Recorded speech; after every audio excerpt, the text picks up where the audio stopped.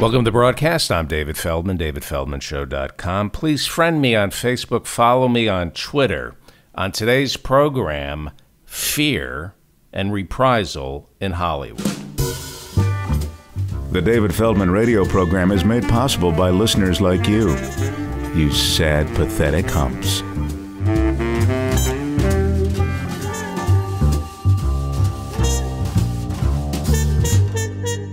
Comedian and actor Tom Arnold has come forward to say he has the infamous videotape of Donald Trump using the N word on the set of The Apprentice. He hasn't released it yet, and nobody else who has worked on The Apprentice is willing to come forward to release that tape. Why is that? Why, if this tape exists, will nobody come forward and release it? For more on this, we are joined by David Dayen, right? Yes, that's correct. David Dayen. He's a contributor to The Intercept and also writes for Salon, The Fiscal Times, The New Republic. His new book, Chain of Title, about three ordinary Americans who uncover Wall Street's foreclosure fraud, was released in May of 2016. Thank you for joining us. Pleasure. David, there, there is allegedly a tape of Donald Trump using the N word, calling his son a retard it hasn't been released yet. Actually, not even sure it would hurt him at this point. I think his supporters would be upset if there weren't a tape of him using the N word or the C word. Mark right. Burnett. Mark Burnett claims that it's not in his purview to release the tapes. They're owned by somebody else, I believe. Right? Well, they're they're partially owned by Trump. I think is the uh, is is the claim that he, he has some rights over the use of material.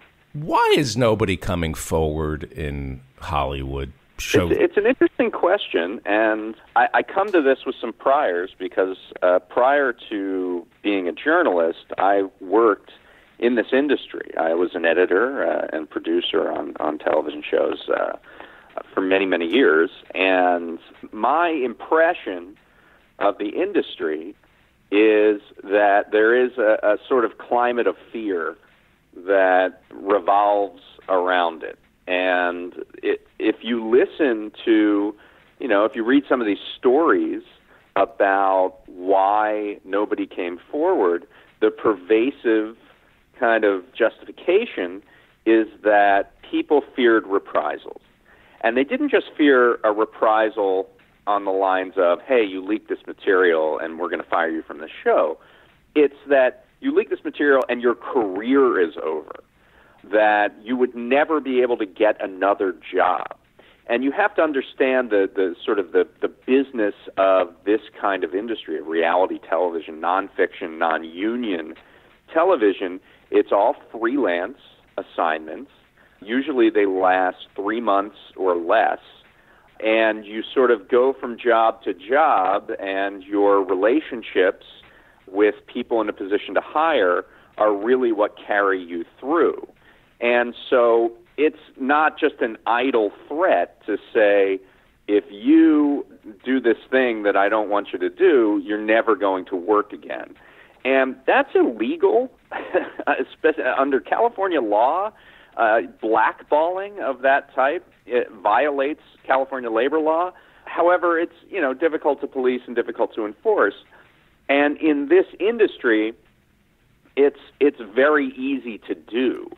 Uh, you know, you have people on these short-term assignments, always sort of looking for the next job, and so there's a lot of power transferred to the management over the labor.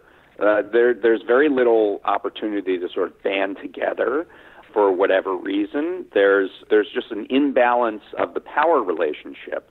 And Mark Burnett and yeah, let's, every so, let, us reality show yeah. guy uh, uses that to their advantage. Yeah, who, who is Mark? Who is Mark Burnett? So Mark Burnett is probably the most successful uh, reality producer out there, uh, beginning in 2001 with Survivor and then uh, also did The Apprentice and a number of other reality programs. He now uh, works for MGM. Uh, Mark Burnett used Productions used to be an independent company, and uh, I believe they were bought by MGM.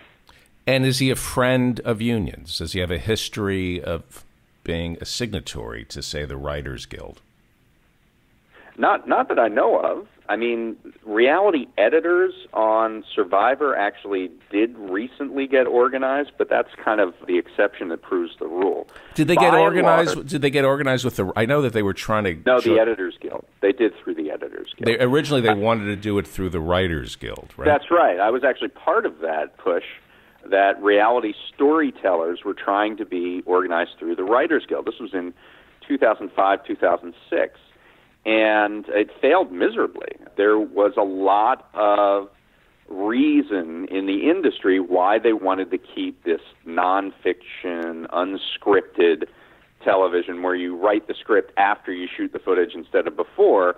They wanted to keep that non union. And, and number one, it was a bulwark for them to get better contracts with the union types on the scripted shows. Uh, because if you have this ability to transfer over to non union reality programming, once uh, there's a strike or something, there's it's sort of a ready-made set of scabs that you can bring in. right. You're a writer, but you're also a videotape editor, correct? Yeah, I was an editor, yeah, for many years here. And you were edit you were video you were editing video for reality shows, and somewhere along Sometimes. the somewhere along the line, somebody discovered that editing video is the same thing as writing, which I don't necessarily think our listeners would understand. Why is editing video a lot like writing a script in television? Well, both are forms of storytelling. In the case of these nonfiction shows, uh, it's certainly the case that you know I've been in rooms where they've dropped 20 tapes on me and they've said, "Well, make something out of this." You know, come up with a narrative for this scene. Uh, that that is no different than uh, writing down at a typewriter, sitting down at a typewriter with a piece of paper and and and writing up a story. Uh, the, the real difference in in that kind of television is that you're writing the script after you do the shoot rather than before you do the shoot. So I have written lines of dialogue that have been then read wild by the individuals in the program. I have written lines of voiceover. Uh, I have, you know, done all of the things that you would do to tie together a script. Only, only we're doing it in this allegedly nonfiction kind of format. We're talking with David Dayen. He's a contributor to The Intercept, and he's written a, a really important story over at The Intercept on The Apprentice and why employees are fearing a professional reprisal over leaking that tape that may or may not exist of Donald Trump using the N word. Reality television, was there originally a thirst for reality television, or did it, did it come before us for other reasons?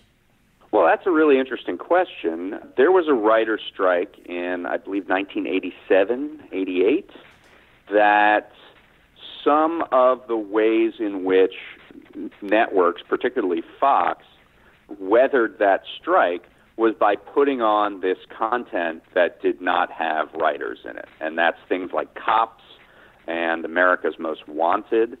These are sort of seen as the ur text for uh, reality television.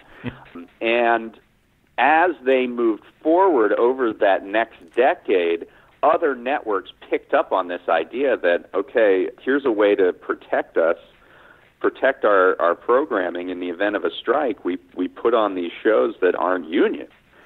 And, you know, that sort of reached its apex at the beginning of, of the, the year 2000 and after that.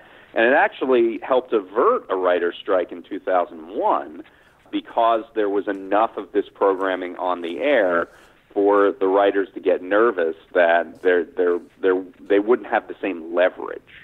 Uh, there was a strike in 2007. Uh, initially, reality storytellers were put into that, saying that they had to be dealt with somehow.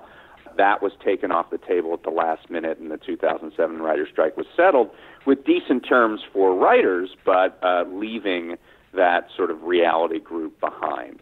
And so it's always this sort of uh, extra appendage that makes uh, the, the terms a little more favorable to management. Hollywood is, as you said earlier, is notorious for disobeying state labor laws. Under uh, Governor under Governor Jerry Brown, have they enforced any of the labor laws on the books when it, uh, when it comes to Mark I mean, Burnett? what I see most, what I see most in these kinds of programmings is what would be called wage theft. And what is wage theft? What is is- wage theft? Wage theft is when you are not uh, providing your employees with the kind of wages that they should get under a, a normal system of labor law. Now, that could be denying them overtime. That could be violating uh, laws surrounding various breaks or, or things like that. I mean, I've been in situations where I've walked in on my first day of work and been told to sign all 12 weeks of my time cards before the fact. Uh, and, uh, you know, not knowing whether I would work late one day or whether I would have to work a weekend or, or whatever it is, those would be signed and, th- and, and put off all, uh, right at the beginning. And, and that's not uncommon. So basically, you have people who uh, work in this industry who are working, you know, they can work 12 hour days, 14 hour days, 16 hour days, and not getting paid for that extra time that they're spending at work. And if you're working for, say, Mark Burnett, and then you report him to who would you report? OSHA, uh, California Department of Labor.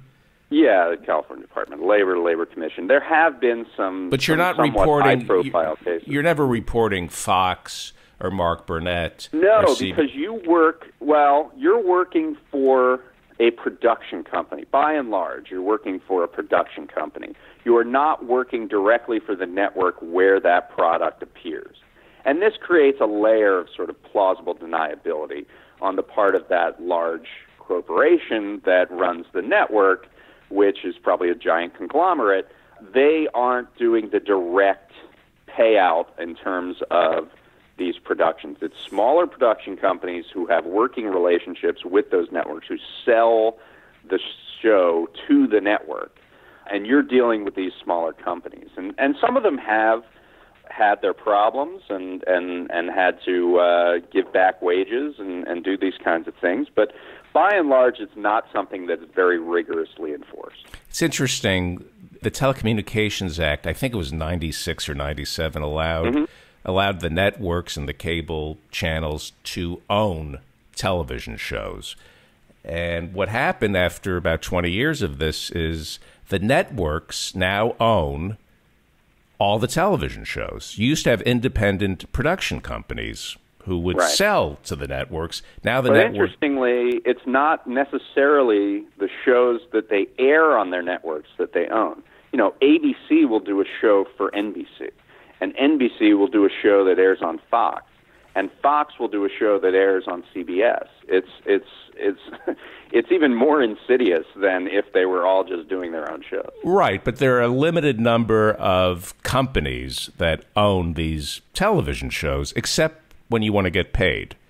Then there are all these Right, little companies. well, that- yes, then they all set up dummy companies that are, uh, uh, you know, nominally independent. So, unions. Why are unions important? One of the things, especially in Hollywood, one of the things that you're taught in Hollywood, you're indoctrinated in your first job in Hollywood is you can be replaced. If you're an actor, if you're a writer, if you're working craft services, the message that is sent to you all the time is that you can be replaced. And you can be replaced. Everybody, including Donald Trump on The Apprentice, can be replaced by Arnold Schwarzenegger, who also can be replaced. Everybody in Hollywood can be replaced. That's why we need unions, right? Right. I mean, the the fact is that you know there's a, a fun stat that at any one time, one in three people in in Hollywood are out of work. There is so much competition for employment here that that makes it a, a very difficult environment for people who are replaceable, as you say. yeah, that that's even magnified more in this reality business where you have these short-term assignments where you you have to line up three or four or six different jobs over the course of a year just to make your normal pay that you would expect to to you know, maintain your standard of living. So unions are important to to fill in those gaps. First of all, these are all freelance jobs. They don't come with any benefits. They don't come with any health insurance. They don't come with any pension. And that's uh, one way unions can get involved. The second way is through helping with grievances and uh, you know certain types of firing that are, that are would be illegal. Unions can come in and help stand up for workers when they are being exploited or when they are uh, running into trouble.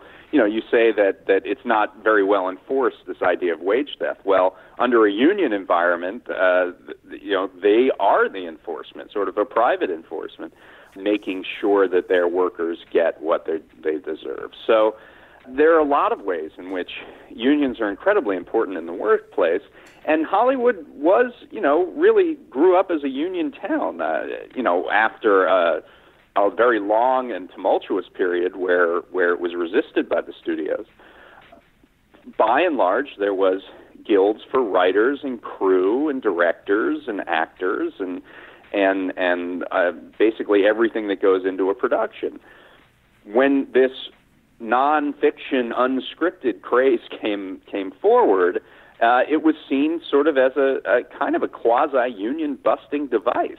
Mm-hmm. And that has carried forward. And now you have a situation where you have these uh, employees, mostly younger, 20s, 30s, coming up in the industry and really put in a very vulnerable position where uh, they, they can't afford to speak out uh, if they want to. In, in in the case of this particular thing with Trump, they can't afford to go against the grain of whatever it is their uh, employers want them to do, whether that's work an extra hour at night or work a weekend or go to some location under very hazardous conditions, uh, very brutal shoots that uh, you know uh, on Survivor and these kinds of things there there is a lot of power transferred to those the the produ- producers and the executives of these companies.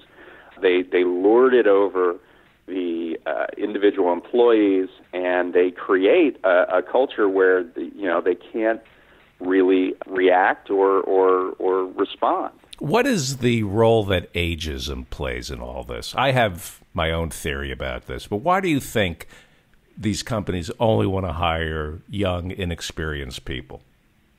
Because they have no real history of solidarity on the job. They don't understand what it means. Right, right. And what they, it's very insidious and it's, you know, in, ingenious in an evil way. What they'll do is they'll say to a 24 year old who would be willing to do whatever this work is for free, for free. Right because right. it's the door. And they're trying to get established in the industry, and you're willing to take more crap when you're trying to get established in the industry, and you know they were they play that to their advantage. And the way they crack the solidarity is they divide and conquer by complimenting yep. you. By complimenting you, you're the best. You are right. so fantastic you are amazing. And you begin to think you really are amazing and they can't do this without you. And and they say we really need you uh-huh. to you know to, to to finish this up. You know, I've been in places where. So, excuse me for one uh, second. Know, excuse told, me for one second. Oh yeah. We really need you. You, you are you are a you are so key to this project. So then you immediately distance yourself from your coworkers because you're right. you think you're more important and better than they are until you ask for one thing.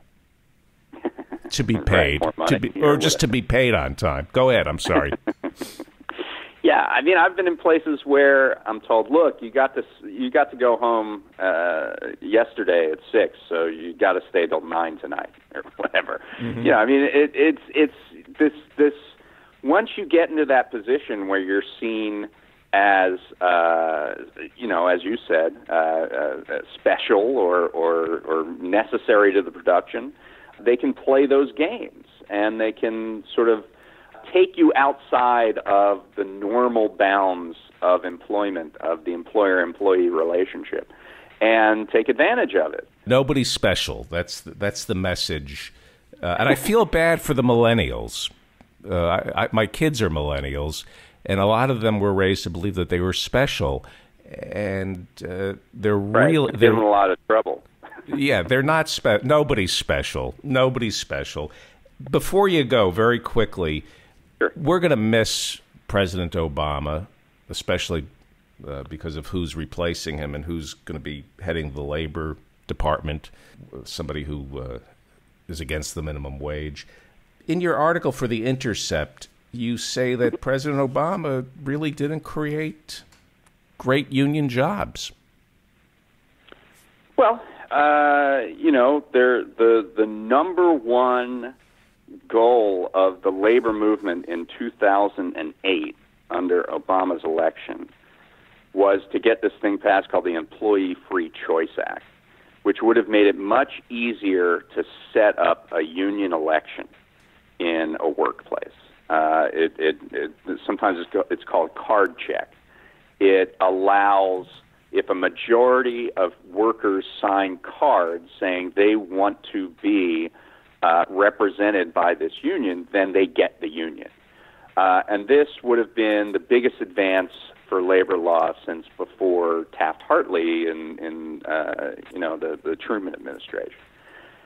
And Obama talked about that, you know, on the campaign trail. Uh, but when it came down to it, he couldn't or didn't uh, muster the votes for that uh, particular piece of legislation. And you know, you look at Obamacare and this the, the so-called Cadillac tax, uh, uh, the, the, this idea that you would tax high-end insurance plans. These are plans, many of them, that unions negotiated in lieu of wages. They got really, really good health care for their contract. And they gave up uh, what they could have gotten in wages to take this health care. And now, under Obamacare, it was being taxed. Now, eventually, the Cadillac tax got reversed over Obama's wishes, but uh, or at least delayed, I believe. So the the union Obama relationship has been a little bit fraught. Now, uh, on the other side of that, the National Labor Relations Board appointees that uh, the president put on were all quite good and have put forward a lot of rulings that, if they were allowed to continue under the next uh, few years, would be extremely helpful to labor, uh, particularly one around franchisees, which it says that if McDonald's has a, a thousand franchisees out in the country, and the franchisees do something that is illegal under labor law, that McDonald's can be held accountable for that because uh, McDonald's, uh, by virtue of their franchise rules, essentially controls the labor practices of those franchisees. So that's, I mean, it's like everything in the Obama era, it's a little bit mixed. You write that 94% of the 10 million jobs created in the Obama era were temporary, part time, or. quote. That's definitely true. Yeah. yeah. Before you go, you're the author of Chain of Title. It's Mm-hmm. about mm-hmm. Wall Street's foreclosure fraud. Yeah. It came out in May. Tell me very quickly yeah. about it, please.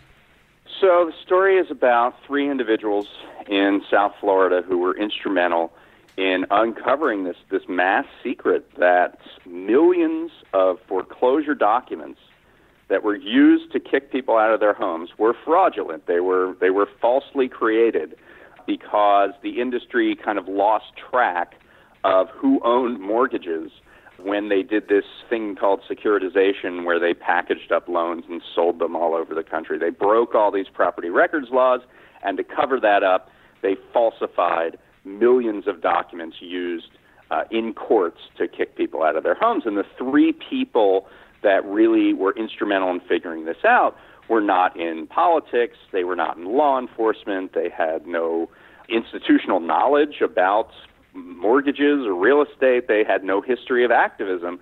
They were a, a used car salesman, a cancer nurse, and uh, a lawyer who specialized in insurance cases. And all three of them were foreclosure victims in South Florida.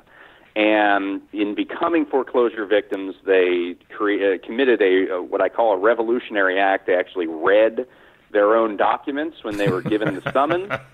Uh, and when they read them, they found irregularities. Uh, and then they decided to do something bigger than themselves, and they got sort of obsessed, and they looked through the public records, and they found all these patterns. And then they found each other in the comment sections of websites, and they made a pact saying, We're going to expose this to the world to the nation, and they started their own websites and they started to protest.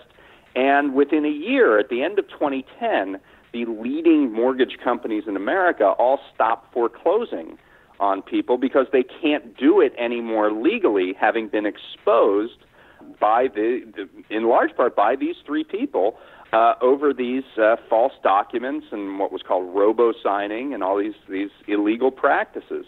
And that's the first two thirds of the book, and it's a very inspiring book. And then if you close it, you don't understand the the last third that I had to write, which is about how Wall Street and Washington sort of got together to make sure there were limited consequences for any of this. But um, that's uh, the story, and uh, came out in May, as you say, and uh, it's been getting a really good response, and uh, uh, be excited uh, to get anyone's feedback on. It's called Chain of Title, and you can buy it at a local bookstore or mm-hmm. uh, through uh, Amazon, which we yep. won't talk about.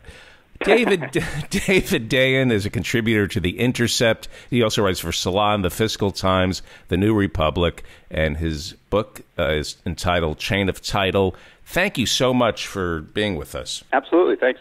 That's our show. Thanks for listening to The David Feldman Show. Please friend us on Facebook, follow me on Twitter. Have a happy new year.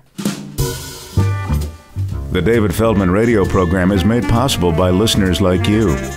You sad, pathetic humps.